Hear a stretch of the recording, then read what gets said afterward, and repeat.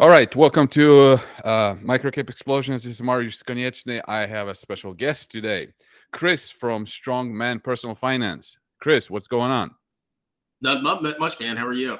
Good. So I've been watching some of your videos. Uh, you're becoming one of my favorite YouTubers out there because you don't give a shit and you say it how it is, and I like that. So uh, and your channel is growing quite nicely now. I can see that. Uh, so I wanna like I want to, you know, uh, get to know people with, uh, you know, that are actually helping properly people. I have the right message. Uh, so I, you know, if I can in any way help you grow, expose you a little bit, I want to do that. So uh, let's start with this. Uh, let's talk about Tesla. You, you, you had some, you had some uh, videos on Tesla. Uh, you, you, you said the Tesla is like the last pin, last thing that is holding on to some of these uh, Cathie Woods followers. Just you know, take take it from here. Yeah. So just a little bit of backstory about me. So I, I'm an index fund investor. I literally just buy total world index funds in tax advantage accounts every two weeks. I don't really pick. I mean, I, I have a couple individual stocks like Alibaba, but I'm not a huge individual stock investor. And what I noticed on YouTube before I made my channel is there's all these basically uneducated clowns that were all copying Cathie Wood. And as an accountant, because I do, I'm a CPA, I do accounting for my real job. I wish YouTube was my real job, but it's not. And I was just looking at some of these companies, looking at their financial statements, and they didn't make sense to me. You know, they're massively unprofitable, issuing shares. The only good thing about a lot of the companies that Cathie Wood was buying was they were exciting and futuristic, and some of them had decent revenue growth. So eventually, it kind of inspired me to go on YouTube and kind of confront these these clowns. Basically, I mean they are they are freaking clowns because all they're doing is they're just parroting Cathie Wood, Cathie Wood Woods whatever. And as you know, all of her stocks are getting decimated except for one stock, and that is Tesla, which is holding up all of these YouTube clowns for now until it goes down. Did you see? Did you see Teladoc today? Uh, well, so I, I saw it. I saw it in the aftermarket yesterday. It was down what 35 40% i don't know what happened during the day. I actually haven't checked it. What percentage did it go down?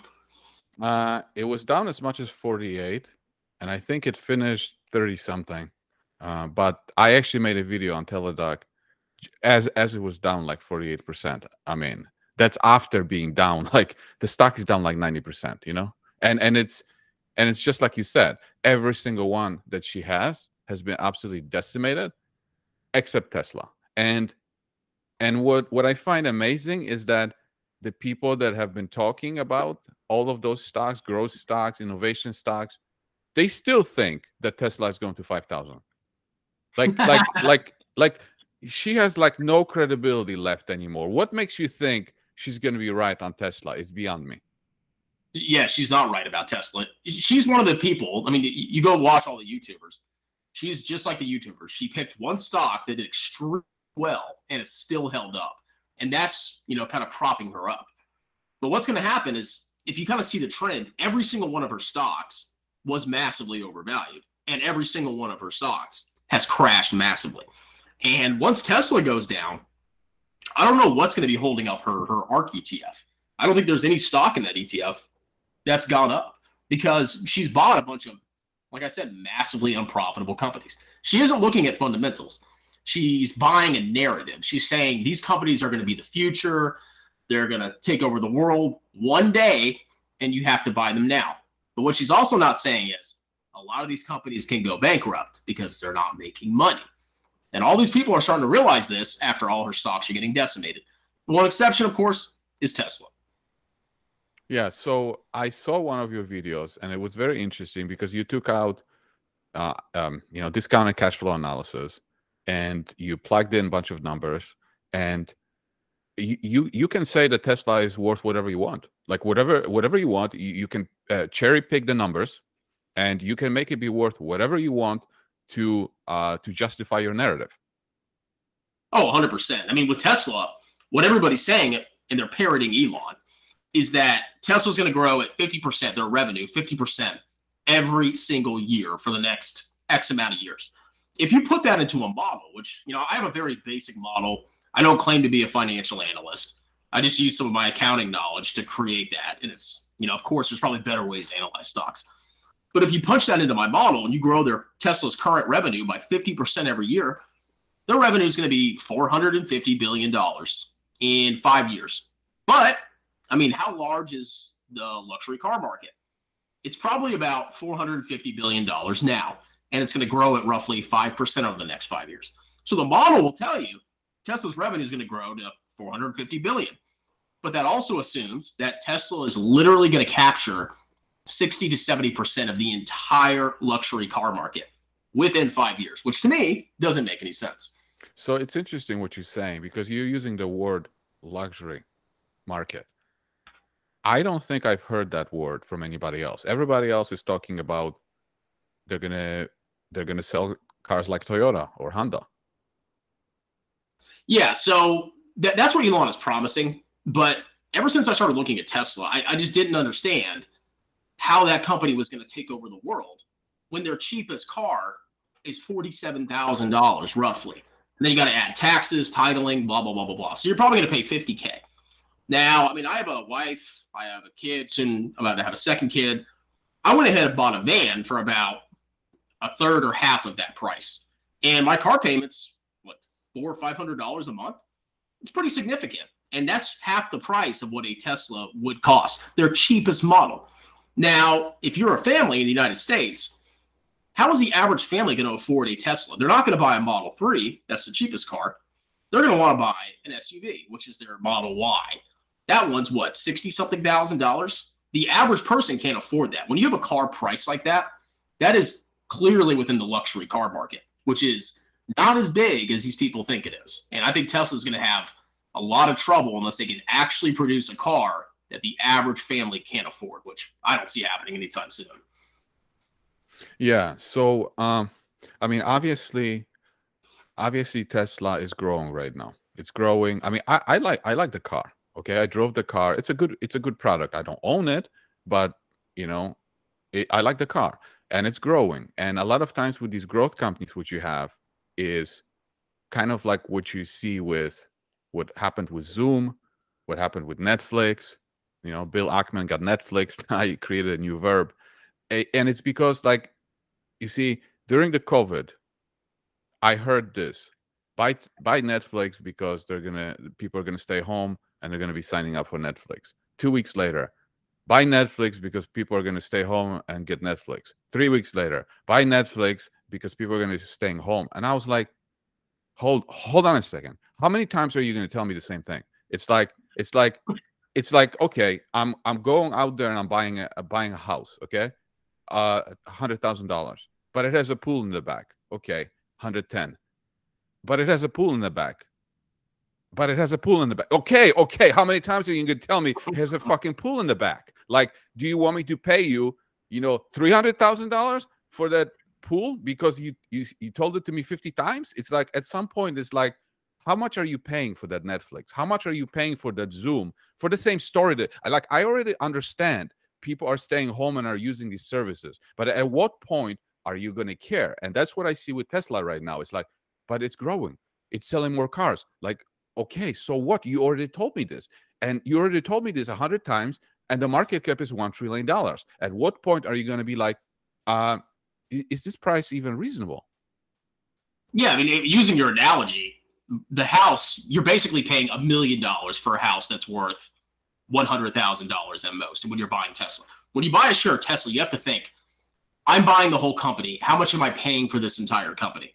If you buy Tesla at a thousand dollars, you're roughly buying a company, a, luxury automaker, for a trillion dollars. Now, what Elon Musk is doing is he's playing this stupid little game. He keeps saying, "Oh, we're going to grow at fifty percent," and he keeps having these promises. Oh, we're going to have robo taxis. We're going to have uh, robots and whatever. He keeps stringing people along. And what's going to happen is Tesla will probably hit growth targets maybe over the next quarter, couple quarters. I mean, I, I, I can't say that with certainty, but there's going to come a point where Tesla cannot grow as fast as they have been. And I think their growth is going to drop off enormously because they cannot physically sell every car they make going forever into the future because people cannot afford them. There is a certain limit to what Tesla can do. And when that happens, there's going to be one quarter where they only grow it 20% year over year or 30%. that is going to decimate that stock because people are finally going to realize, oh my God, this is just a luxury car company, just like, you know, BMW or, you know, Toyota, Lexus, whatever. I'm buying a luxury car company. and I'm paying a trillion dollars for it. And the only promise is, is that one day there's going to be a robot, which, I mean, come on.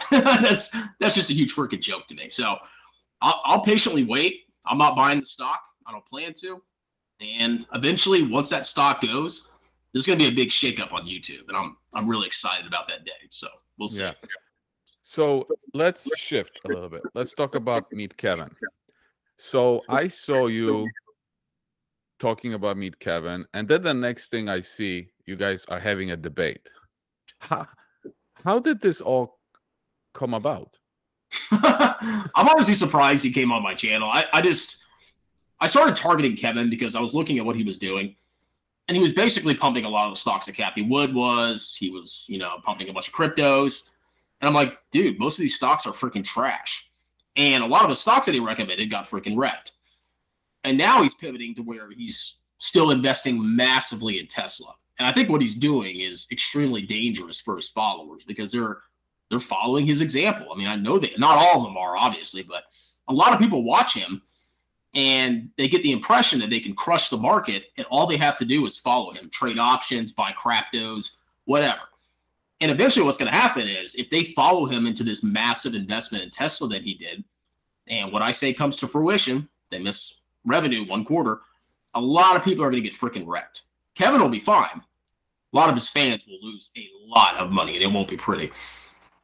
How many debates did you have with him? One, because you're having another one. I don't know if you already had it. Uh, no, so yeah, I had one maybe two months ago, and we're having another one. It's actually this Sunday at noon on my channel. And the second debate, we're just going to debate solely about Tesla. So we're not going to talk about you know his grifting or whatever he's doing. We're just going to talk specifically about Tesla. How how did I, I didn't listen to the first debate. I just saw the thumbnail. How did the first debate go? Like, did you guys argue or did you have like a, a you know a reasonable conversation? It, it, was pretty reasonable. I mean, I I don't hate him as a person, and you know he's actually he's entertaining. And basically, I just asked him, and it wasn't even really a debate. It was more of like a very heated interview where I kind of asked him a bunch of harsh questions like are you buying stocks before you pump them? Are you how do you feel about, you know, telling all your fans to buy these massively unprofitable companies that are going to get destroyed? It was kind of like that. The next one is we're just gonna it's actually gonna be more of a debate. We're actually gonna debate is Tesla overvalued or is it undervalued? Because that is sort of that's the linchpin of his channel right now is Tesla. That's what's holding him up. Is he going forward? Is he gonna be ever talking about stocks again? Uh, I don't know. If the stock market craps out and Tesla dies, I mean, I'm sure he'll pivot to something because he has such a massive following. He's never going away. He could pivot back to real estate. He could find something else. I don't know what he would talk about, but I'm sure he could find something that he could continue to talk about on his channel. Right now, he's just kind of taking advantage of you know the recent bull market we had and the massive popularity of Tesla. So I don't think he's going away, but his what he talks about may change pretty significantly. Yeah. Okay. You have a new target. You a new YouTuber you like a lot. What's up with that? Why are you so hard on him? Jeremy Lefebvre, Jeremy Financial Education. He's a very, very special person. So Kevin, I've you know had issues with him. He has courses that he charges like a thousand dollars for, which I disagree with. I don't think you have to buy a course to you know, have a nice retirement. I think you can just save diligently. Jeremy is basically the exact opposite of what I am. I believe you should not pay, you should pay very low costs. I believe you should buy index funds. I, be, I believe you should max your tax advantage accounts. Jeremy is the exact opposite. He sells courses and he charges up to $20,000 for people to get access to his Discord, private coaching, blah, blah, blah, blah, blah. I'm sure he's lowered his prices, but I actually called his organization, Financial Fortress and they quoted me for their highest tier up to $20,000. So he's charging people massive amounts of money. He's promising them or heavily implying that they can get massive returns 30, 40, 50%, which is maybe possible every once in a while, but not every year consistently. And he's putting people into garbage stocks, as we've seen. Most of his stocks have sold off just like Cathie Woods, because they're massively unprofitable, diluting the shareholders. And the only thing good about them is they have a cool story. So I've definitely been focusing my attention on him. He's not, he's indirectly responded to me, but I don't think he's going to come on my channel and debate me because I don't think he could hold up in a debate. I think Kevin can. I don't think Jeremy can. How, how did he indirectly contact you? So, so he hasn't contacted me. He's like referenced me. Like he's called me Belly Boy. Like I know he watches my channel. He's made videos talking, making fun of index funds, and he actually has this tracker. If you go to his videos and you click on his description, he has a tracker down there where he compares the ETF I invest in, the Vanguard Total World Stock Market Index ETF, the VT ETF. He's comparing my ETF to all of his stocks. And what he's doing is he's trying to show his fans that he's going to outperform me in the long run. But funny enough, he started the tracker after his stocks had already been decimated massively. So his thought was, well, my stock's already sold off massively, so I'm sure we'll enter some kind of bull market. But the funny thing is, his stocks have dropped even more. So he's got that tracker there, and funny enough, I'm still winning. So hopefully that continues. yeah, you know, I uh, I had a video. I made a video. I think it was today or yesterday, talking about why people don't want to go the index route why they want to go with individual stocks like you know Cathie Wood and things like that and I came to the conclusion that because these lottery tickets give them hope you know they they hate their job they don't have any purpose in life. They want they, they just are looking for hope. So people like kevin people like jeremy people like Cathie, they sell them hope. And you know they they benefit tremendously from that because they get all these courses sell them all these courses coaching this and that sell them hope. But unfortunately over the last you know year they decimated these people's financial lives. Like permanently damage their financial lives I, I agree i think it's disgusting what a lot of these people are doing and i'm glad that i'm finally being proven correct to a certain extent because I, I've been saying ever since I made my YouTube channel, most of these stocks are overvalued. You're not going to get rich quick. You're going to lose a lot of money if you keep buying all this trash that they're pumping on you. You probably shouldn't pay somebody twenty thousand dollars to teach you how to lose money, and it's starting to come to fruition. So I don't think I'll ever take over YouTube because people want to hear about individual stocks because it's fun. You can analyze them. Maybe you can make a lot of money. And the index, well, you're just going to get the returns of the index. It's not exciting. But in my opinion, and there's a lot of data supporting it, that's how you actually build wealth is you maximize your income, you cut your expenses, and you invest as much as you possibly can over your lifetime. And once you do that, you'll definitely, as long as you invest diligently, you'll definitely retire comfortably. Yeah, I mean, um, I mean, Warren Buffett said so many times that index funds are the way to go uh, for most people, you know, and uh, I I just you know understand from the I understand the point of view of people that you know they, they are looking for hope. And if they do index funds even though it's responsible that's the right way to do it it's almost like giving up before trying. So I I get that. I get that. But it it it hurts me to see because I analyzed you know the stocks that Kevin you know invested in and I made a video about Kevin. Uh, and I see what Jeremy is doing. I actually today before I um, I I jumped on the interview with you today. I went to the Target and I went to a grocery store. I wanted to look at Tattoo Chef products and I wanted to look at the Honest Company products. Um, and the Tattoo Chef, you know, he's telling his people on his YouTube channel that Tattoo Chef is dominating. And I went in there and I asked an employee, "Hey, can you show me, you know, tattooed chef products?" And and I'm talking like an employee that knows what they're not not like some low level employee that doesn't want to be there. And the guy looked at me. He's like, "I don't even know this company." And but then he finally found it right in the frozen frozen uh, uh, food section, all the way on the bottom. Oh, he's like, "Oh, here is it on the bottom." Like, and it had like four products and i'm i'm like looking at this whole thing and i'm like this is dominating what what are we dominating here the bottom shelf like nobody is going to see this product unless The only person buying this thing is when they already know about it. They're going there to get it. Nobody walking through the store would ever see that product ever. And this is what he's pushing to his people.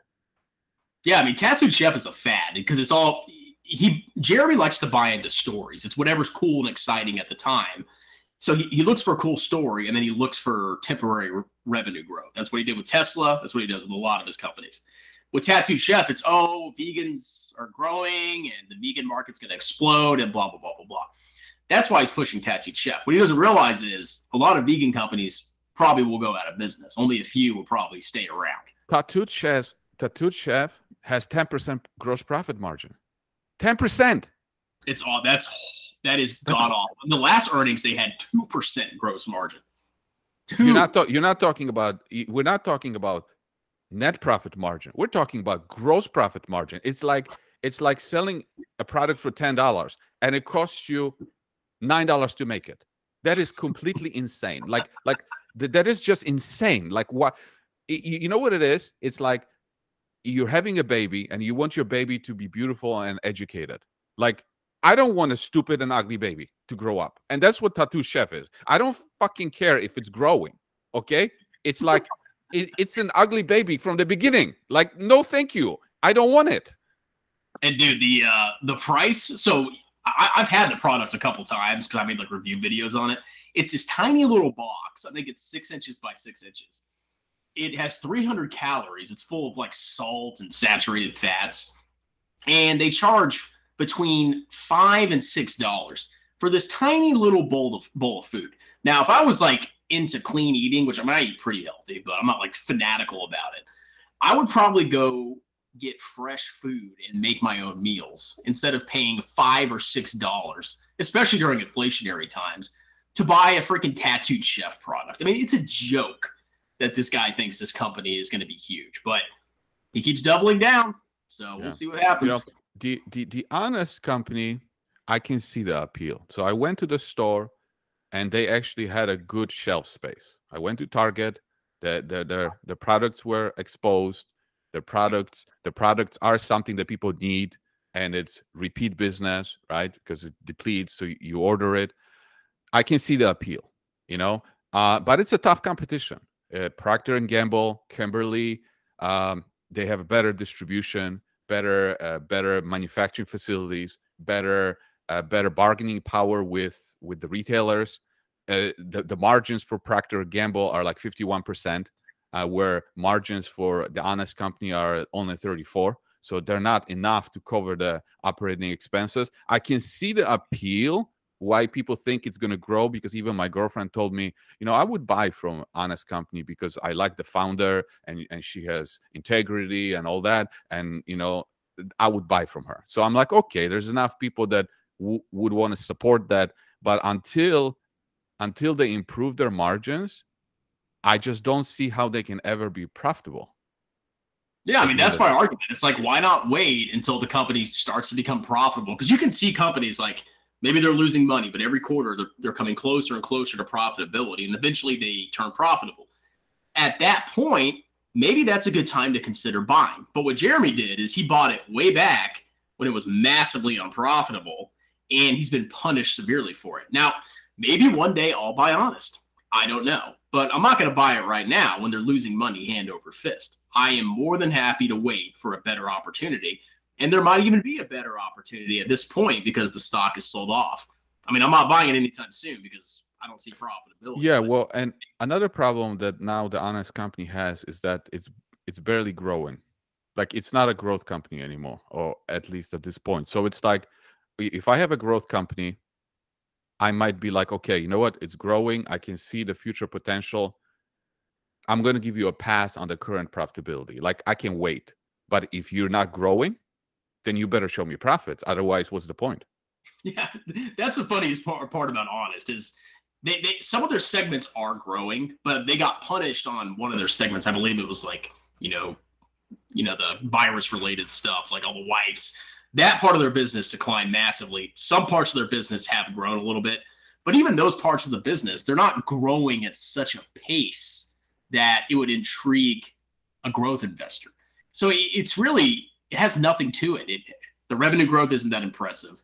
The margins are trash. There's just nothing that appeals to either a value investor or a growth investor with that company. I mean, maybe it'll change in the future, but right now I wouldn't touch it. You see, that's the thing. That's that's a very good point that you're saying because value investors for any company are usually the last ones that are going to support the stock, right? Because they're going to look at the, the the balance sheet, they're going to look at the cash flow, and and if it drops low enough, they're going to support it. But if you don't have any fundamentals, uh, who's going to bail you out? No one, absolutely nobody. And like I said, companies can go out of business. A lot of companies do go out of business, and even this company can go out of business. I don't know. But if one day it becomes profitable and it's growing, it's you know earnings per share and revenue, okay, maybe it's less likely to go out of business, and I can actually value it. It's a it, that's a key thing. I can place a value on this company because I can project how much they're going to make and how much I should pay for it to get a certain return. Yeah, that's right. I mean, look, look, what what what happened with Bill Ackman. He lost 400 million on Netflix, and then he walked away simply because he couldn't value it. You know, it's like he, he has no visibility. So he's like, you know what, I'm stepping away. And and that's Netflix. You you can value Netflix much easier than some of the other ones. Yeah, I was really intrigued by him buying Netflix where he bought it at. I mean, I, have looked at Netflix and I mean, yeah, it's profitable, but just because you're profitable doesn't mean you're getting a good deal. The end of the day, you want to buy a company cheaply and collect a lot of cash flows. That's how you make your money. Looking at Netflix, I think it's still pretty expensive. I, I wouldn't buy it right now. I don't plan to. Which and he bought it way higher than it is right now. So that was a very interesting trade by him. But hey, he yeah. got out of it. Yeah. All right. So the final question: uh, any any final thoughts that you might have uh, to leave my audience with about yourself or about your YouTube channel? Uh, I mean, just come check me out. So my channel, I mean, I like to clown around because index funds are boring. There's nothing exciting about them. So I do some stock analysis. I talk about index funds. I like to go after grifters and scumbags. So that's what I like to do. So you can come check me out and uh, we'll have a good time together.